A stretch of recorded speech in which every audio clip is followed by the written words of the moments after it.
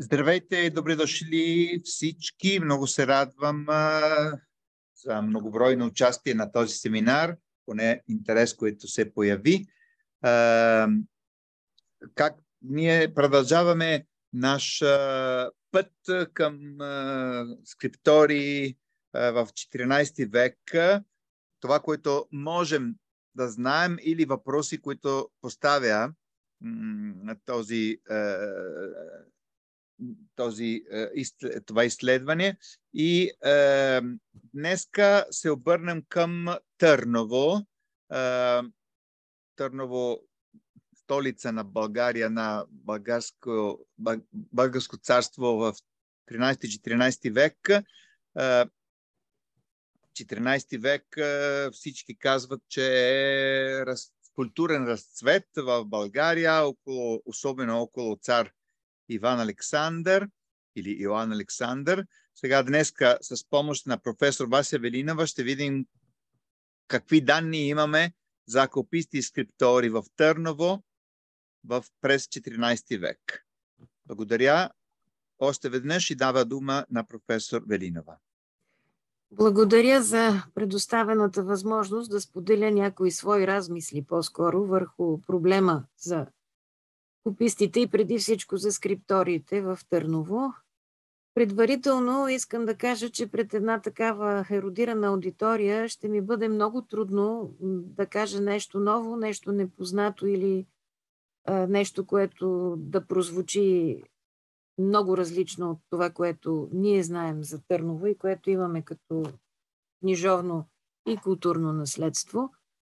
Предполагам, всеки от колегите, присъстващи тук, по, по един или друг повод се е сблъсквал с научната проблематика, свързана с а, столицата на Второто българско царство. Сигурно в много области сте и твърде доста по-компетентни от мене, така че а, аз тук ще си поставя една доста по-скромна и по-реалистична, бих казала, задача да а, представя някои от известните факти по друг ъгъл – да задам някои въпроси, дори с идеята те да бъдат провокативни, за да преосмислим някои аксиоматично прияти твърдения в нашата литературна медиевистика и да се опитаме да надникнем отвъд конкретната фактология, да се опитаме да я обвържем в някаква по-стройна система, доколкото това разбира се е възможно. Какво имам предвид? Когато говорим за Търново през 14 век, единодушно знаем, че това е времето на втория голям разцвет на книжнината, на изкуствата, на духовната култура по времето на Иван Александър, който 40 години управлява българската държава, създава условия за написването на много ръкописи, част от които са достигнали до нас, за съжаление, вероятно по-малката. Именно с него са свързани едни от най-красивите и богато иллюстрирани български ръкописи, оцелели до ден днешен. С неговото име се свързват и редица владетелски портрети, такива каквито нямаме при другите владетели. С една дума, Търново по негово време е действително един процъфтяващ в духовно и в литературно-книжовно отношение град. Но това надали ще може да бъде разбрано правилно, ако нямаме натрупванията и това, което се е случило през 13-то столетие и позволило на столицата да достигне до, това, до този свой духовен и книжовен престиж. Имам предвид няколко събития, които бележат 13 век, възстановяването на българската патриаршия – управлението на династията на Сеневци, териториалното а, разширение. И а, един немаловажен факт, след като през 1204 година кръстоносците превземат Константинопол и създават Латинското царство, българската държава остава като един основен център на православието на Балканите и това неминуемо допринася за а, самочувствието и на владетелите, и на духовниците, и на книжовниците. Вероятно, това е допринесло и през 14 век в Манасиевата летопис в превода да се напише, че Търново е новият Цариград, който расте, който крепне и хубавее и неговият владетел хиляда слънца да дочака, за да се радва на красотата и престижа на столицата. Това като че ли влияе на изследователите по един доста така а, особен начин, когато почнем да разглеждаме книжовната продукция на 14-то столетие, свързана с Търново, някак си много бързо и много лесно а, класираме ръкописи като Търновски и много лесно говорим за многобройните скриптори в града, за многобройните манастири, където са преписвани, превеждани, тиражирани а, различни ръкописи. Всъщност, а, това е нормално, като имаме предвид. А, само секунда.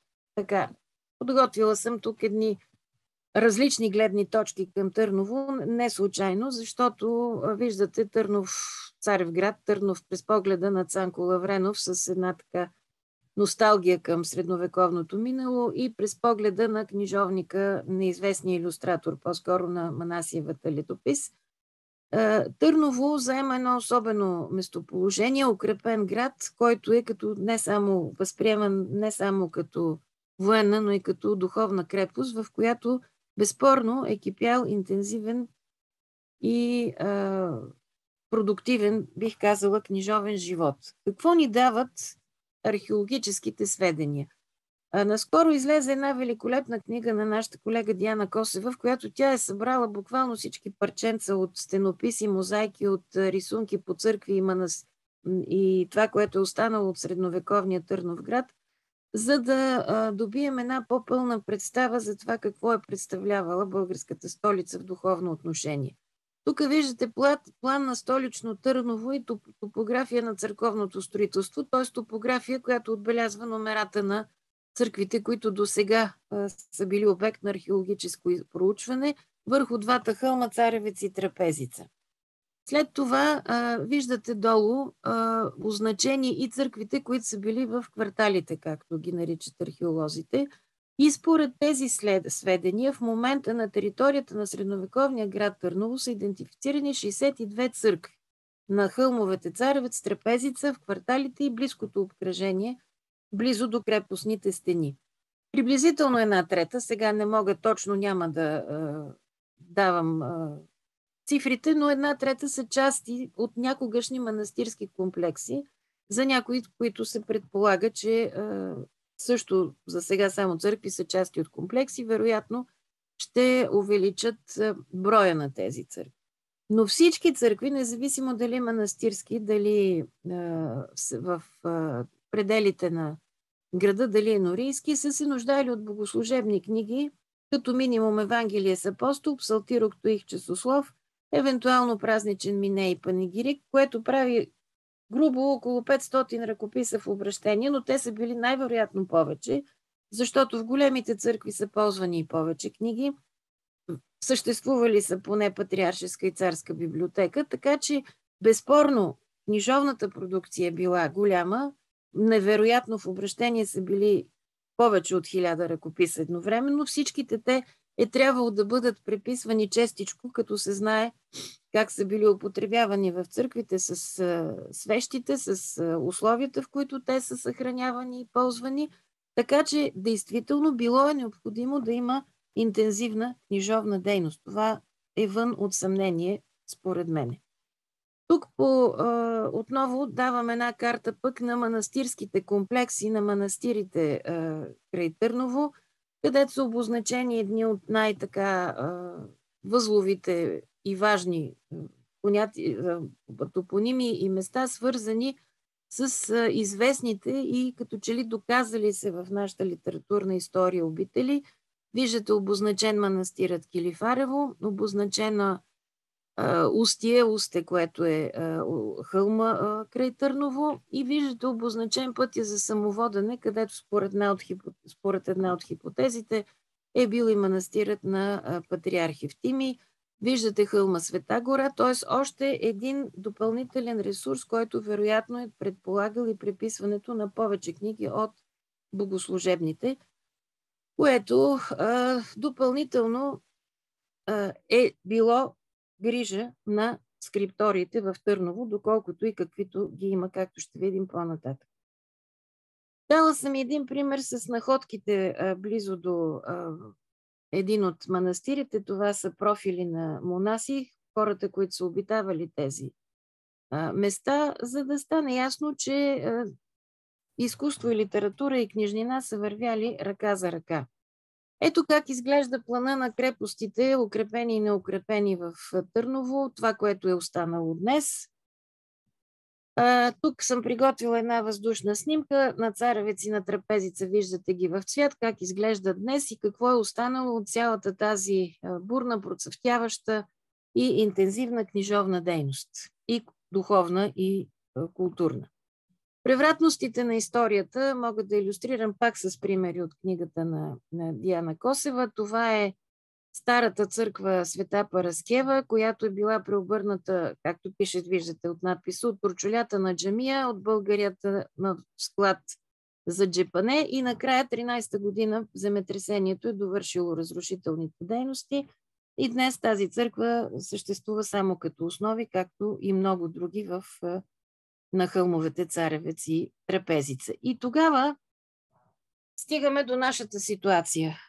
Е от това нещо, което са намерили като фрагменти, виждате, да възстановим евентуално ето това, което е мисия, айде да не е невъзможна, но мисия изключително трудна и невъзстановима, или като във видението на Свети Прокъл да чакаме някой да ни шепне и да сподели с нас къде са тайните на търновската книжовна продукция, на търновските манастири. Казвам това не случайно, защото имам предвид и в не отдавна една публикувана статия на покойния и уважаван от нас колега Иван Божилов, който задава точно този въпрос. Къде и как се прави българската книга през 14 век? Статията му е публикувана в юбилейния сборник, посветен на професор Казимир Поп Константинов, където наред с някои неприемливи крайни твърдения в публикацията, на които няма да се спирам, авторът обаче поставя няколко съвсем резонни въпроси. Как ние определяме наличието, респективно отсъствието на скриптори и дава доста любопитни примери. Ако един ръкопис е писан от двама писачи, значи той е в голям скрипторий правен. Ако има следи от редакторска намеса и поправки, задължително е голям скрипторий. Ако са 5-6, направо е, е продукция на книги. Тоест той критично подхожда към някои доста генерализиращи твърдения, които или приписват на всеки манастир приписваческа дейност, или пък на всеки ръкопис, който не е писан от един писач, търсят връзка с големи представителни скриптори. От това, което показах и това, което смятам, че статистиката убедително свидетелства, да, в Търново скриптори е имало, но въпросът е как можем ние да ги намерим. В двутомното издание на приписките на българските книжовници, към което се обърнах отново така за справка, може да видите от периода 10-15 век, т.е. първият том, има публикувани общо 153 приписки. От тях от 14 век са 80. Търново като топоним или свързани с околността топоними се срещат ето на, почти на пръсти, като цар и град Търново в приписката от Германовия сборник. Похвалата от на Иван Александър, Софийския песнивец, накрая в заключителната радвай се, Търнове, граде и така. А, като богоспасим цар и град Търново в титулатурата на патриарх Симеон в Четверовангелието от 1348 година, чийто писар е известен Теотоки и Псилица. Приписката с местността Усти от Теодосиевата лествица – Споменаване на Великата лавра, манастир на Богородица в пролог от 1339, 16-те слова на Григорий Богослов, където и името на логотета мита, книжовника Първослав, както изборе и цялата царска фамилия. Но това фактически са а, и, и приписки, в които се споменава името на владетеля са сравнително най-много. Но веднага тук аз бих поставила въпроса, това локализиращ или датиращ елемент, защото в повечето приписки, в които името на Иван Александър е споменато, т.е. написа се по времето на тази устойчива формула, ние нямаме сведения за мястото на написване. изобщо от всичките тези 80 приписки в 14 век, повече от половината нямат сведения за мястото, където са писани ръкописите. Срещат се други топоними, като Бдин Лесновски манастир, Света гора със свето, съответния манастир в по две приписки. Повечето са имена на писачи, които се свързват с тъй наречените царски ръкописи, както е в Лондонско Евангелие, в Лаврентиев сборник или с поръчаните за владетеля книги. Къде тогава се е развивала, къде е възможно да се, да се е развивала тази интензивна книжовна дейност в търновските скриптории или, може би, в един голям търновски скрипторий. Историята за сега мълчи и никак не е благосклонна към нас да ни даде подробна информация. И затова пак се обръщам към археологията.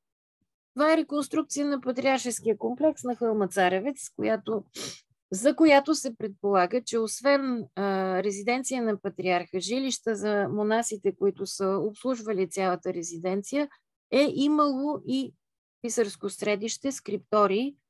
На една конференция преди години, посветена на а, Балканското средно, на, на 14 век на Балканите, Маргарита Ваклинова изнесе един доклад, в който спомена, че а, около църквата, около патриарш... в патриаршеския комплекс на територията му са намирани стила и остатъци и, и парчета от закопчалки, като свидетелство, че вероятно там е имало някакъв скрипторий.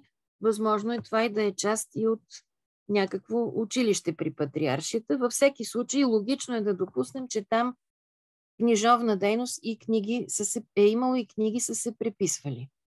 Следващото място, което е доста по-обнадеждаващо и доста по-добре и е добре проучено археологически, това е Келифаревския манастир, където са открити а, килии за а, монасите за преписване, открити са ето тези стила за писане и за заглаждане, т.е. това са тези елементи, които издават обучение в първоначална грамотност. Писането по восъчни таблички, което после се заглажда, за да се ползват многократно, което говори може би за наличието на училище и вероятно и за скриптори, където са преписвани книги. Все пак Килифаревския манастир е свързани с името на Теодоси Търновски. Но и други находки има, които са, според мен, много интересни и категорично, по-категорично, хайде да бъде така, затвърждават тази идея. Там са намерени парчета от загладени кости, с които се е доизглаждал пергамента преди да почне писането върху него. Намерен е включително и парче от а, рок от а, елен, върху по което, което е поресто, което е замествало пемзата според а, а, археолозите, които са го намерили. Когато са направени химическите изследвания, е установено, че по него наистина има остатъци от тези е, животински масни напластявания, които пергаментът изисква да бъдат отстранени при обработката му. Така че за сега, според тези публикации, с които разполагам, те са известни в Търновска книжовна школа, май имаме единственото за момента поне частично или така документирано място, където се и правил пергамент за ръкописите. За хартията нещата са по-ясни, купувала се там като че ли няма толкова съмнение. Във всеки случай, това е следващото средище, в което можем да очакваме, че ще излязат още находки и вероятно тук се е развивала интензивна книжовна дейност. Отношението, по отношение на другите манастири, изказват се хипотези за църквата Свети 40 мъченици, която е била през 14 век част от манастирски комплекс. Там обаче археологически находки за писмена дейност няма, освен а, местни легенди за загубени, а, изгорени ръкописи, откраднати, изнесени, каквито се срещат на доста места в а, България. Стигаме до местността Устие, където също няма правени сериозни разкопки за сега, която е спомената като в приписка, като място за преписване на ръкописи. Но също така се обръща внимание на а, Великата лавра на Света Богородица, манастира споменат в приписката на цитирана от мене по-горе, която дори авторите смятат, че перспективата от този манастир е като че ли перспективата, от която неизвестният иллюстратор е рисувал Царев град Търнов. Сега това са авторски интерпретации, които аз няма да коментирам. В случая за мен е важно, че се локализират няколко места, където би могло да очакваме наличието на а, скриптори. Всъщност, преди да продължим по-нататък, може би трябва да си все пак да си преговорим какво ние разбираме под скриптори и какво очакваме. Това би трябвало да е място, където работят повече от един преписвачи, където се държат и образците за преписване, където има ресурс от а, а, всички онези необходими за производство на един ръкопис суровини. Това е пергамент, това е хартия, това са мастила, украси и най-вероятно наличието на достатъчно обучени хора. Това е едно доста а, трудоемко, времеемко и финансово скъпо удоволствие, така че едва ли скрипториите са били под път и над път, едва ли можем да твърдим, че всеки манастир е разполагал със собствен такъв.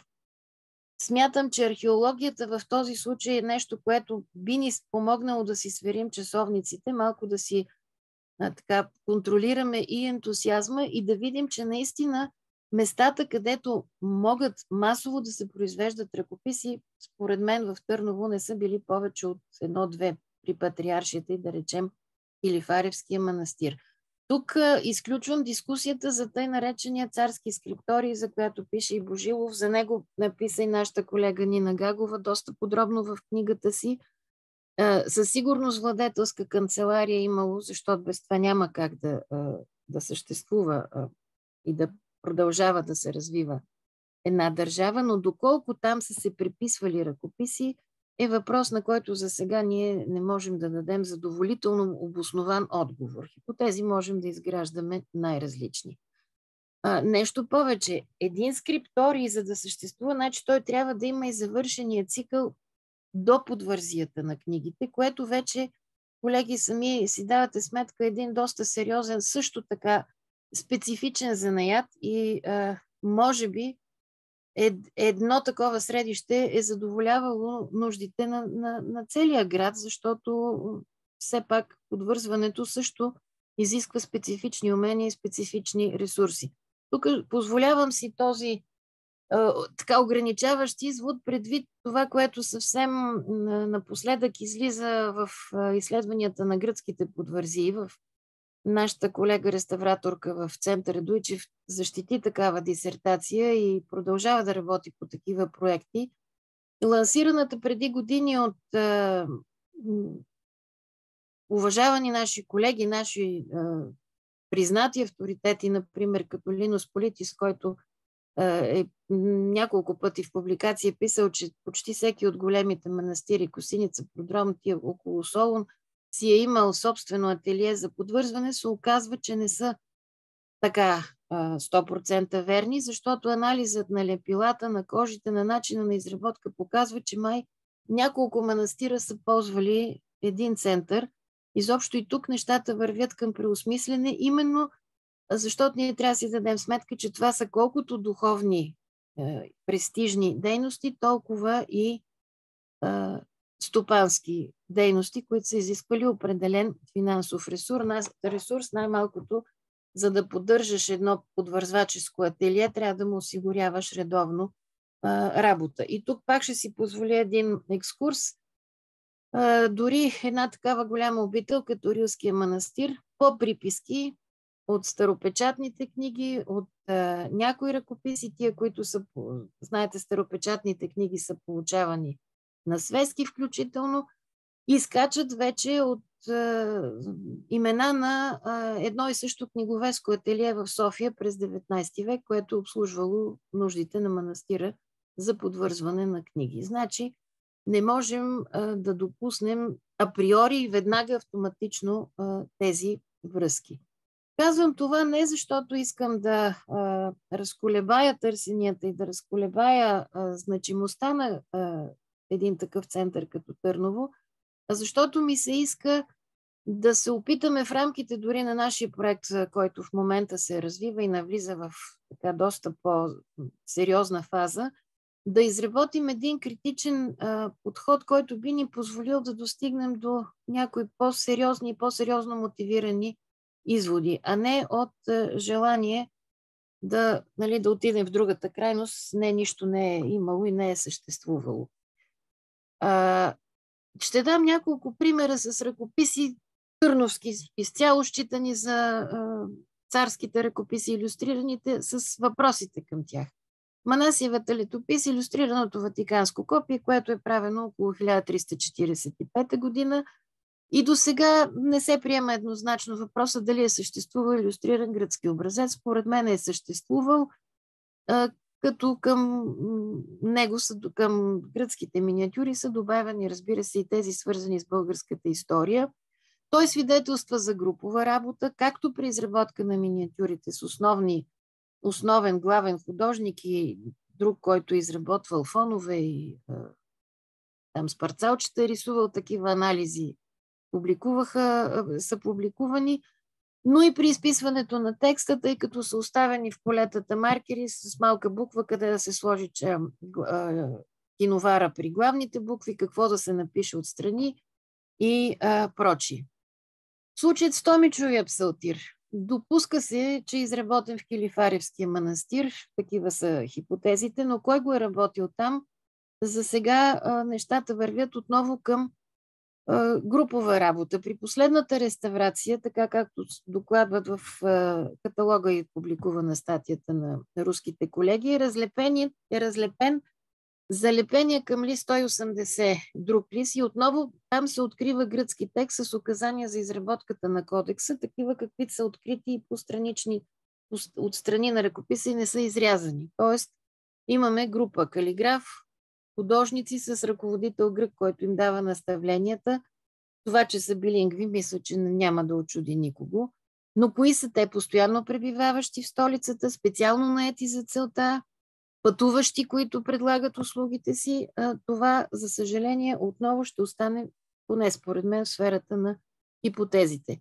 Фактът, който може да бъде прият с по-голяма степен на вероятност, е това, че е работен от група и група, която има специални а, хора, калиграфи, изографи, способни да изработят такъв ръкопис. Лондонското Евангелие. Обширната приписка подробно ни разказва как е украсяван ръкописът. Подробно се сравнява а, Иван Александър с а, Константин Велики. То си е почти като една кратка похвала, но не се споменава къде се е случило всичко това. Професор Мусакова, която работи в съотдайно по изданието на Лондонското Евангелие, може би може да хвърли светлина по въпроса. Но аз продължавам да се питам при положение, че ръкописът е копия на гръцко Евангелие от, от 11 век. Все пак къде е изработен, къде е било възможно набавянето на този образец? Отново въпроси, които а, събуждат само размисъл и а, аз лично не бих се наела да им отговоря категорично. И в крайна сметка, тъй като нашия проект е палеографски, бих искала в последната част на моето изложение, да се върнем към палеографията. Един също сигурно търновски царски ръкопис е Лаврентиевият сборник, тъй като има приписка с името на писача и в нея подробно се оказва предназначението на кодекса. Явно Лаврентий е сред писачите, които са допуснати да пишат ръкописи за владетелската фамилия и прочие. Но тук можем да говорим, тъй като само неговото име знаем, имаме един тип писмо Лавренти, който се среща в една цяла група ръкописи. Сега няма да ги изброявам. За тях е писал и нашия колега а, Анатолий Турилов с много сериозни идентификации и разграничения на различни писачи. А, на тях се спира и а, нашата колега Гагова в а, книгата си когато правих анализа на Манасиевата летопис в моята студия, също доста се занимавах с тези въпроси и мисля, че тук тук палеографските данни ни позволяват да допуснем а, някаква степен на кодификация на този тип писмо. То тежне е към полуустава, значи няколко различни определения има за него, както и да е. Това е друг, друга дискусия с много калиграфски елементи и различно по степен влияние на гръцкото писмо при различните писачи, които обаче следват тази мода Лавренти. Най-общо какво включва това писмо? Общи графични варианти на лигатури, вписани една в друга букви, особено изписване на буквата В във формата на сърце, често пъти, употреба на широко е в един калиграфски вариант с силно удължена хоризонтална линия, често пъти е вълнообразна, декорирана с точки, изписване на змиевидно в различни вариации, високи мачти на тъй на, на яд, а, ато се изписва като гръцка алфа в края на думата, в края на реда. Много често има различна по степен застъпен маниеризъм на писачите в последните редове на всяка страница с едни удължавания на опашките на буквите. Просто една по-свободна интерпретация на кирилската азбука, но все пак в едни граници, които ни позволяват тук да допуснем за наистина някаква търновска мода. И смятам, че точно тези палеографски характеристики, елементи на окрасата, пък ако щете дори анализ на правописа на тези ръкописи, позволява да се говори за някаква специфична книжовна продукция на столицата Търново. И най-общо виждаме и две нива. На високата поръчка, за която вече говорих, тя е по-рядка застъпена, тя зависи от различни образци, тя зависи от поръчител – и трудно може да бъде сведена под един общ знаменател. И на всекидневната книга за богослужебни нужди или дори за извън богослужебни цели, както и Манасиевата хроника, но там са а, за нуждите и на манастирските библиотеки, където ни е засвидетелствано писмото тип Лавренти и Лествица, сборника на Лавренти и е, цяла серия други ръкописи. И подобно явление, за да не отежнявам и да повтарям нещата, мисля, че наблюдаваме и с Поп Герасимовото писмо. То като че ли е един опит от, да се наложи една кодификация на този тип писмо, писмо, което имаме в Търново. Така че подобни елементи, указанията от приписките, лингвотекстологическите изследвания и разбира се тези археологически сведения, които според мен са много важни и дават ориентир за топография, за връзки между центровете, могат да ни да покажат пътя, по който да тръгнем, за да проследим доколкото е възможно взаимовръзки между отделни скрипторски центрове в Търново, както и тези извън Търнова, Тон, Парория, Келифарево, защото връзките са е, интензивни през 14-то столетие. Всъщност, това ще ни позволи да говорим по-скоро за мрежа от скриптории, без да, да знаем всеки един точно къде се намира, но все пак те имат и някаква еднаква програма на ниво съдържание, особено в исихаския период и в полето на монашеските аскетически сборници, както ни показаха изследванията на нашият колега, на нашия колега Марко Скарпа, който посвети доста време на изследването на тези ръкописи. Така че, колеги, нашият проект, който има за основен научен интерес палеографията, палеографското изследване и описване на ръкописите, неминуемо ще излезе от това тясно научно поле, ще прекрачи към един по-широк контекст, ако иска да постигне убедителни убедително мотивирани резултати. Хайде да не са категорични, да не са, те никога не могат да бъдат, когато говорим за средновековие, но поне да бъдат убедително мотивирани и да бъдат обосновани не само с палеографските наблюдения, с палеографския усет, палеографска интуиция, но и с някакви, доколкото е възможно, и по-обективни факти. Защото наистина 14-то столетие е и върха, и а, краят на а, Второто българско царство. И тук ще ми позволи моят уважаван научен ръководител и добър приятел, професор Станчев, да цитирам едно негово, една негова много красива и мисъл, която винаги ме, така ми е ме е вдъхновявала, като се сета за Търново, че понякога залезът на Балканите е почти толкова красив, колкото изгревът на Апенините. Той по друг повод го е написал, но мисля, че Търново заслужава точно тази оценка и този наш коректен, комплексен и много-много сдържан подход, когато стане дума за скриптори, когато стане дума за определяне на местата, където се е създавала средновековната книга. Освен скриптори, това могат да, може да са били и домовете на по-издигнатите боляри, които да са си поръчвали книги, както е с 16-те слова на Григорий Богослов, да речем. Логотетът Мита, като ги поръчва, за да ги подари и така нататък. Ние трудно можем да а, възстановим 100% това, което е било, но можем поне да бъдем а, в подстъпите си към него максимално коректни и издържани, за да не привнасяме своите съвременни представи за неща, от които ни делят а, столетия. И с това смятам да завърша и благодаря ви за вниманието.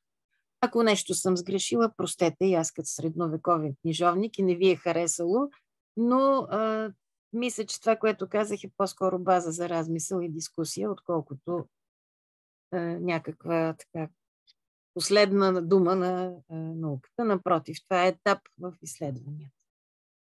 Благодаря много, още веднъж за вниманието. Много благодаря, Вася. Мисля, че е, смисъл на нашите семинари точно е такъв.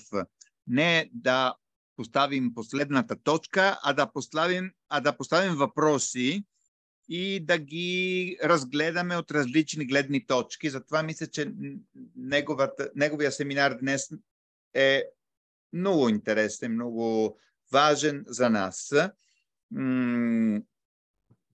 И е, ако им, е, за това я благодаря и как, не само, че ни е прочел семинара, как тя е прочела днеска семинар, как е, е структурирала работа. Дава дума сега на професор Станчев, който иска дума. Ами аз да се вържа за, за финалния цитат на Васе. Моята мисъл беше, че не е, не е казано непременно, че изгрева на тъпенините е по-красив от залеза на Балканите, да. имайки предвид изобщо залеза на балканската православна цивилизация в художествено отношение, не само на българската, разбира се, контекста беше това. А, точно в духа на това, което вас се каза в началото и което сега каза Марко, искам и аз няколко въпроса или, е, как да кажа, да, проблеми за, за размисъл да поставя. А, всъщност тя на някой вас директно или индиректно отговори. Например, това, че а, големия брой на църкви в а, а, Търново, най-вече на трапезица всъщност, не означава, че във всяка църква е седял някой поп-писец. Писача, още повече, че ако не греша, на, в, на трапезица по-голяма част от църквите са гробишни и много се съмнявам, че там има нужда от нещо повече, освен попа да си донесе требника веднъж годишно, когато ще се прави, не веднъж годишно, но в случай, когато ще се прави опело или погребение. А, така че количеството на останки от църкви в никакъв случай не е право пропорционално на, а, как да кажа, на а, скрипторската дейност. А, един много хубав въпрос, който това се постави по повод на Търновското, на, на, на Иван Александровото Евангелие.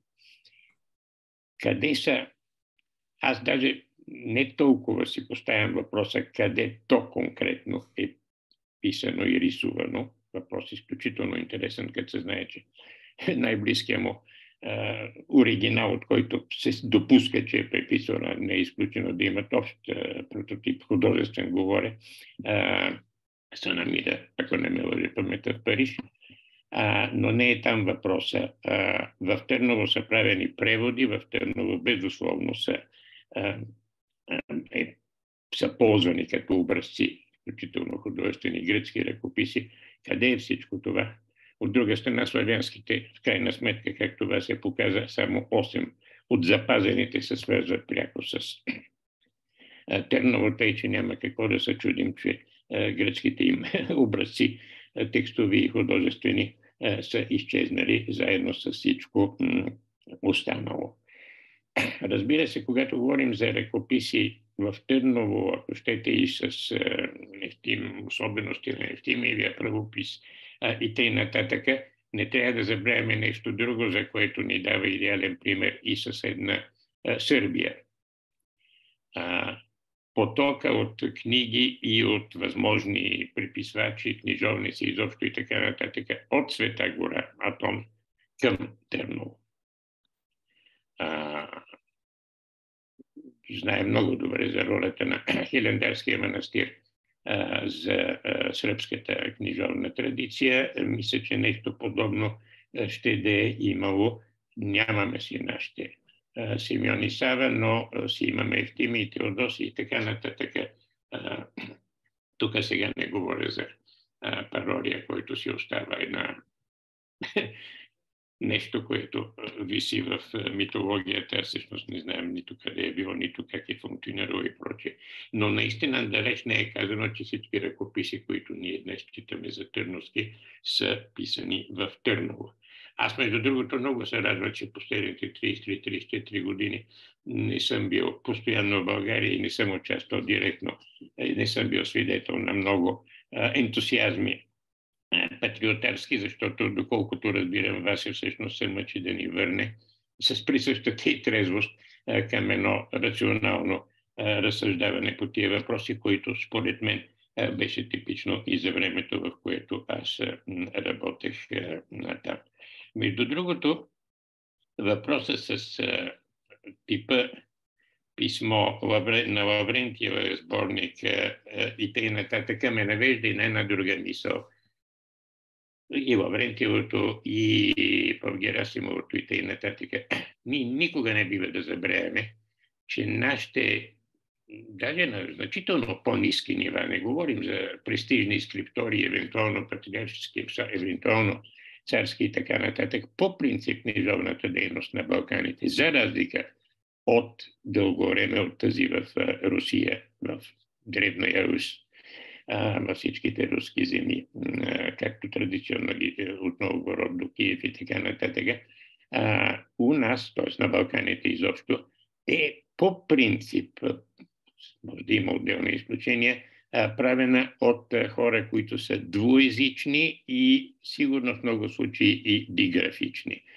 Ваше знае и други може би знаят, че това ми беше една от любимите теми, мислех да я разработвам, после заминах и нещата взеха други посоки е, интересите ми, но тая тема за е, билингвизъм и диграфия, а, а тя в е, най-ранния период е и триграфия, защото с свети глаголица с кирилица плюс гръцкото писмо, е една тема, която мисля, че все още подлежи на, на доразработване. Митко Пеев направи някои неща Явор Милтенов, най-вече в тази област, но има според мен още какво да се изучава. И е, от последното, за което то пак е свързано всичко това с скриптори, писачи и така нататък. Аз не се съмнявам, че и в патриаршията и най-вероятно в при Иван Александър е имало скриптори и дворцов и патриаршески, какви други е имало и нужно ли е било да има други, това не знам. Поне един манастир сигурно е произвеждал ръкописи с по- малко представители с по, от по-монашеския тип, от типа на тези, с които и Марко се е занимавал, и той имаше интересни хипотези а, около а, някои от сборниците от а, именно от този период, от исихарския период и така нататък. Но един друг въпрос, за който, за съжаление, остава да търсим някакви сведения. Нямаме, а, поне аз не знам да имаме литературни текстови податки. Както са ходили бригади от зографи, които се наемат, зографистват една църква в по-късния период Първанаси, но със сигурност е било така и по-рано и т.н. нататък. После отиват на друго, трето място и тия места могат да бъдат достатъчно отдалечени едно от друго. Какво ни пречи да смятаме, специално в случая с по-представителните ръкописи, именно тия, които искат една бригада от книжовници, един-двама писачи, може би и редактор или даже човек, който сравнява или превежда от гръцки в някои случаи, поне един художник, един оформител на заглавията и така нататък. Какво ни пречи да си представим една такава бригада, която идва, прави по поръчка един или два ръкописа, знаем го и от традицията и на италианските художници и прочие, че някой като дойде, то става мода, а царя се е поръчал нещо, айде и ние да си поръчаме.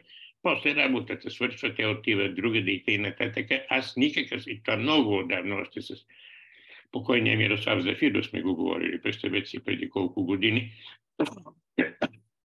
че фигурата на амбулантният писач от една страна, индивидуален, който си ходи с перцето и с, а, и с а, дивита, нали, и където му възложат пише, приписва и така нататък, освен монаха, който пише по задължение, разбира се, по поръчка на игумена и прочие, а, Значи от една страна със сигурност е имало и такава фигура на, на скитащия писач, на амбулантния производител на ръкописи.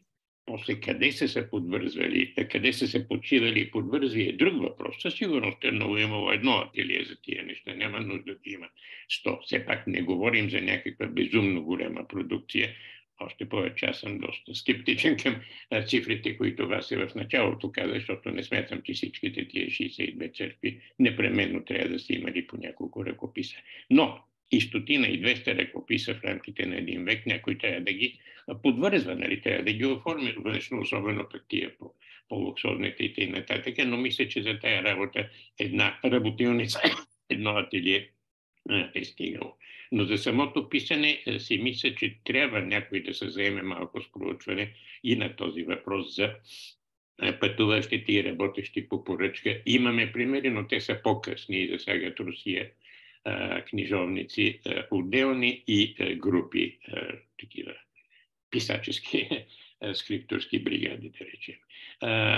В заключение, изключително се радвам на подхода на вас, защото ме връща към едни неща, за които пак с отдавна покойния Бог да го прости Мирослав Зафиров си бяхме говорили, че освен палеографска, освен кодикологическа, естетическа и прочие проучване, старобългарската книжнина има и все още има нужда, защото само наченки са правени от едно, аз винаги съм го наричал социологическо проучване. Кой поръчва, какво поръчва, къде се прави, как се прави и така нататък. Целият този процес, който освен това е хубаво да се изучава в известен паралел с това, което става в съседна Сърбия, с това, което малко по-късно правят влашките и молдавски владетели, пак в пряка връзка с Света гора и така нататък. Изобщо към, към поле за изследване има в много посоки и от тази гледна точка мисля, че семинара който на времето на Марко и, и компания Ури създадоха, е едно полезно място за размяна на мнения и за даване на идеи за бъдеще работа. Така че благодаря и на вас, и на Марко за това, което чухме, видяхме и което ще чуем и видим и по-нататък.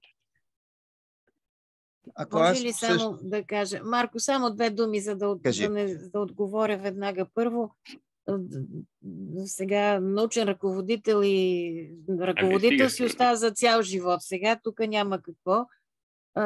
Методиката, за която сме работили, се приема. Но само нещо искам да кажа. Най-новите археологически пак данни за трапезица показаха източника ми е Русина Костова, тя работи там последно каквото имам от нея, че не всички църкви са само гробишни.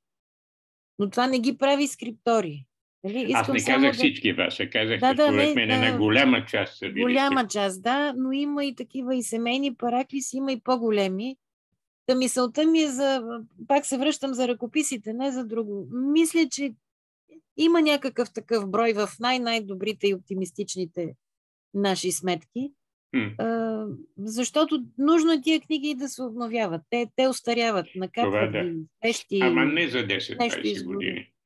А, е, това също е един да. въпрос, който не е много добре проучен за нас. Ами не, не, защото няма база. Колко време която... живеят и кога да. се подновяват. Пергаментите да. живеят много по-дълго време, освен това, както знаеш. Като гледаме как са преподвързвани, явно удължавали са им живота максимално, но mm-hmm. Само това просто уточнение, че всичко е в приблизителни и хипотетични стойности. Така. Да, ако аз също мога да добавя нещо. Аз също съм съгласен с Краси, че не всички църкви е, задължително са имали книги. Мы, ние не знаем как са служили в тези църкви. Как, колко са били дей, дейни. И разбира се, че един ръкопис може да се носи от една църква до друга, когато се служи в друга църква. Те, че е, това... Обаче, ако е един манастир, поне един комплект за, за всеки манастир трябва да има. Това безусловно. Безусловно. Макар, че в един манастир може да има повече църкви, ама книги могат да са една, е, е, едни и същи за, и, да се ползват в различни църкви. Те, че е, това също мисля, че не е, е, е, не е изучено още. Какъв комплект трябва да... Ние знаем какви са книги, които се ползват в църкви, ама какъв комплект са имали църкви преди, преди е, е, е, разпространение на печатни книги, не знам. Да. те, че и аз малко се съмнявам, обаче вярно е, че ако има служение, трябва да има книга. Е, е, това е, е, е, е ясно. Друго нещо за пътуващи кописти, аз също мисля, че може да е, имаме свидетелства по-късни. Имаме и на Балкани, защото да, Владислав Граматик, например, е бил пътешественик, писател. Нямаме свидетелства за сега, за 14 век не знаем поне. Те, че нямаме информация. Не знам как можем да ги установим информация. Hmm. В смисъл, кой може да ни... Ние имаме, имаме информации, че няколко монаси са пътували. Това е вярно. Нали, аз съм издал сега житието на Ромил Видински. Той много е пътувал от един манастир до друг. Той не, ни, вероятно нищо не е написал, ама като пример на монах, който е пътувал не само заради работа, ама е пътувал заради духовна, духовен живот и ако е монах, който пише, е, е, първо пише в един манастир, после пише в, друг, в другия манастир но и, за, и това още не е, е, е изучено. Трябва, според мен, малко сега. Това е, е, е нещо, което ние можем, вероятно, във втората фаза на нашия проект да, да, да, да, да, да погледаме поне дали тези е, кописти, кои, за които имаме имена и за които знаем, че са произвеждали повече от един ръкопис, дали са били в едно място или са пътували и тези ръкописи произ... и, и, из, из, изляза от различни места. Това не знаем, а може да го гледаме.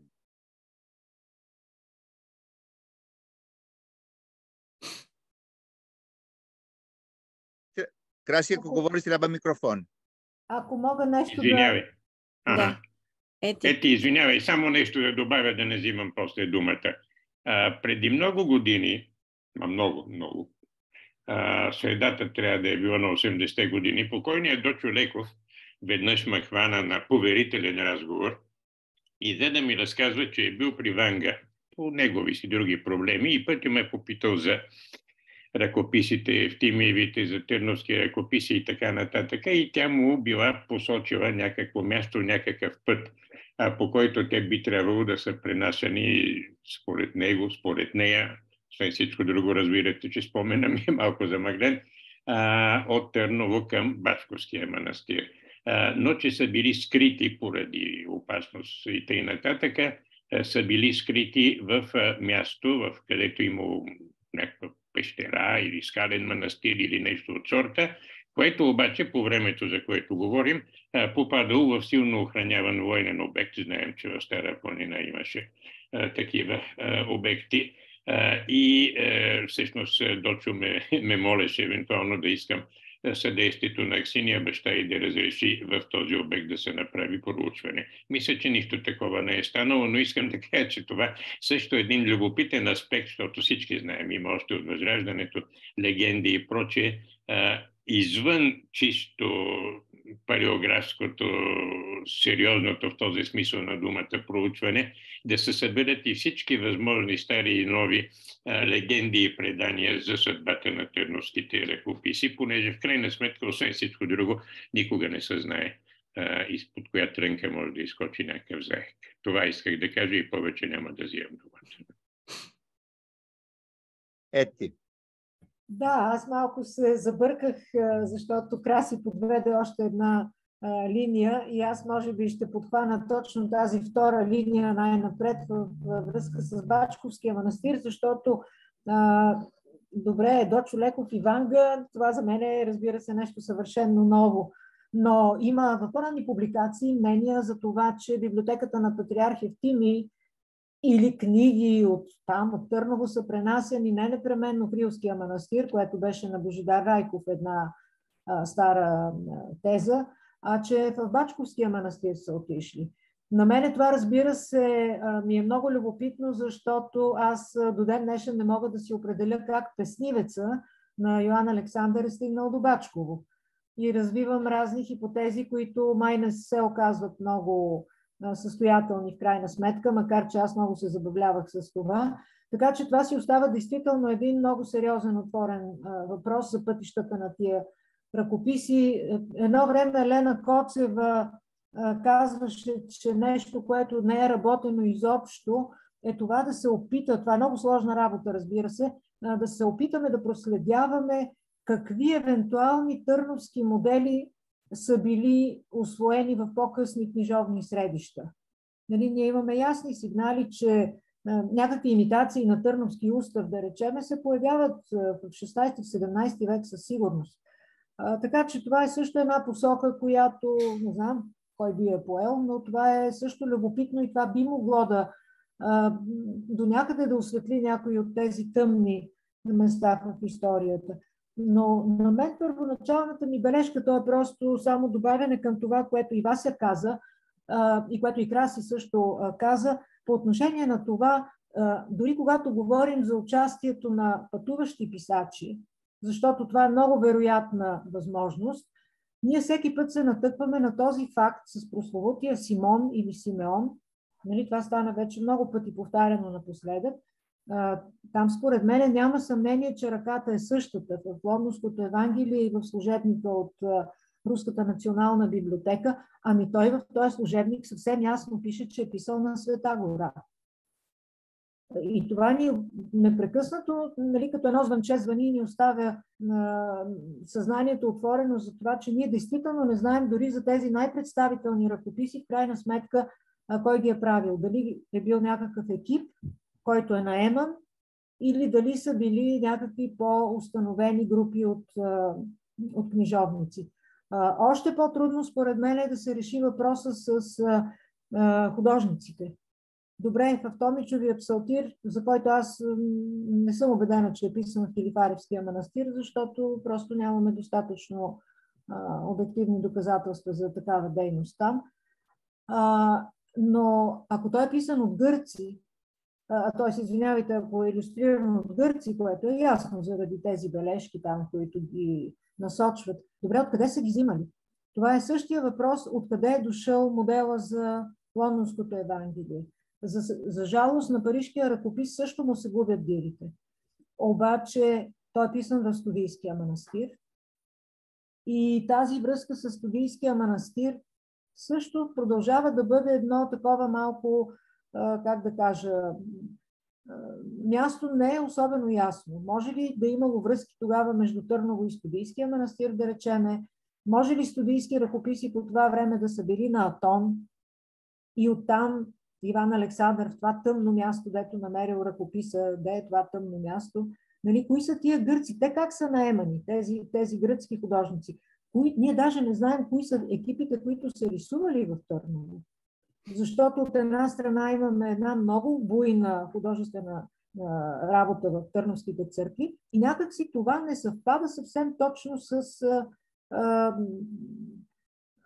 и периодите на иллюстриране на царските ръкописи, за стилови анализи изобщо е много трудно да се говори, когато става дума първо за едни малки фрагменти, намерени в а, а, Търново и второ, когато става дума все пак за две много различни техники. Така че някак си, като че ли въпросите много се умножават. А, да говорим за поток от книги от Света гора към, а, към Търново, ами аз мисля, че в моя доклад доста ясно показах, че всъщност ние за Зографския манастир нямаме почти никакви сигурни сведения какво се е писало там. И кои са книгите. Имаме едно, две, три сигурни сведения и те са свързани с писачи, които са доста, повечето от тях са едни доста неугледни почерци, които не подсказват някаква висока школовка. Така че много неща остават все още е, неясни, не си иска да ги попълваме тези, тези празнини, но е много трудно поради липсата и на документи, и на нали, някакви по, по-категорични сведения, дори от исторически, от археологически характер. И за да е пълна картинката, ети да си спомним Елорд Кързан, къде намира Орнуското Евангелие. А, в Свети Павел, който, е, който е едно изключително важно място в това отношение. Защото оттам излизат много Ами аз не знам, Томи Чудия Псалтир не беше ли също в Свети Павел по едно време? Не, не, не. Той не, обаче има, има един куп други ръкописи, които, Другите, да. Които са свързани с Свети Павел. И аз мисля, че ние в нашия проект не е лошо да включим един такъв чисто, просто, чисто и просто да си направим, как да кажа, един списък ясен на всичко това, което е било в Свети Павел. Защото там изглежда са отивали и то владетелски ръкописи са отивали там. Така че много, много пътеки има още, които не знам кой, кога и как ще ги изброди. Е, па трябва да има лепи за по-младите. И за най-младите. Те и за бъдещите. Има ли други въпроси или изказвания?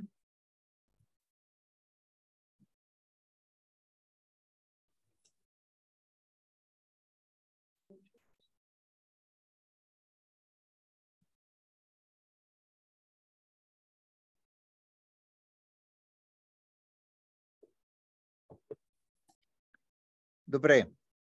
Знае да, ли да. се кога ще бъде горе-долу следваща сбирка и на каква тема? Семинар? Си. Следващия семинар ще бъде следващия месец, точно на 23 марта. Тема още не мога да, ага. да го да обявиш. Откривам към всички. Okay. Обработим програмата за следващите семинари, да. Аз се възползвам от възможността да благодаря за изключително интересната лекция, тъй като аз не съм специалист по 14 век, аз съм по-скоро по 10 век. И отново благодаря. И ние благодарим за участие. Uh, значи, колеги, uh, още веднъж благодаря и аз uh, от вашето име, професор Вася Велинова, за uh, семи... днешния семинар. Надявам се да продължаваме това размишление за скриптори на Балкани в следващите семинари и в днешна България, Македония, Сърбия, да кажем, и на Атон. Те, че си даваме среща следващия месец, точно след един месец, 23 марта, за да продължаваме а, а, нашето изследване. Хубава вечер на всички! Всичко добро на всички! Вася, Вася поздравления, много беше хубав този Надявам се да